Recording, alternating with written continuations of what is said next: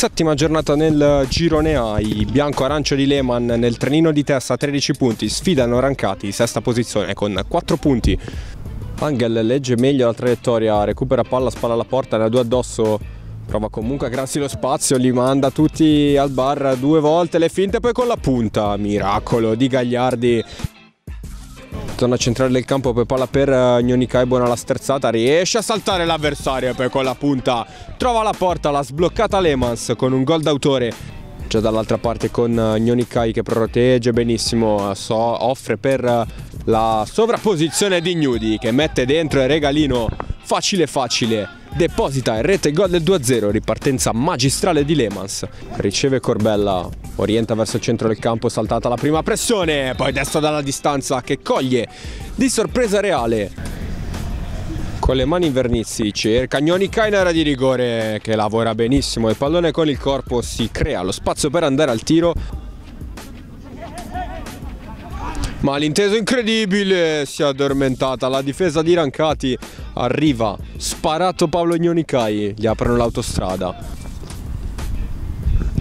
Palla al limite, si coordina, Gnudi incrocia il destro, 6 a 0 di Lemans.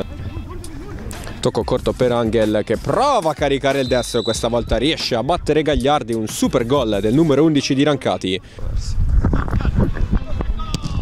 Grandissima giocata di Lemans che libera il mancino di Addario.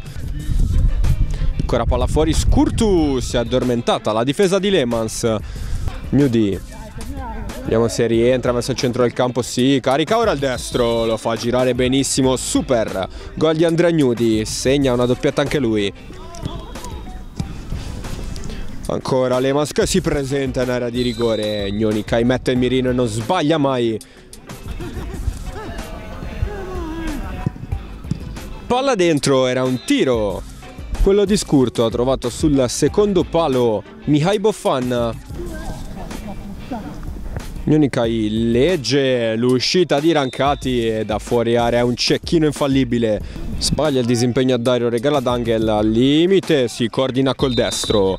10 a 4 in una serata storta, trova comunque la doppietta Christian Angel. E finisce qui scorpacciata di gol di Lemans che va in vacanza con la pancia piena contro Rancati, finisce 10 a 4.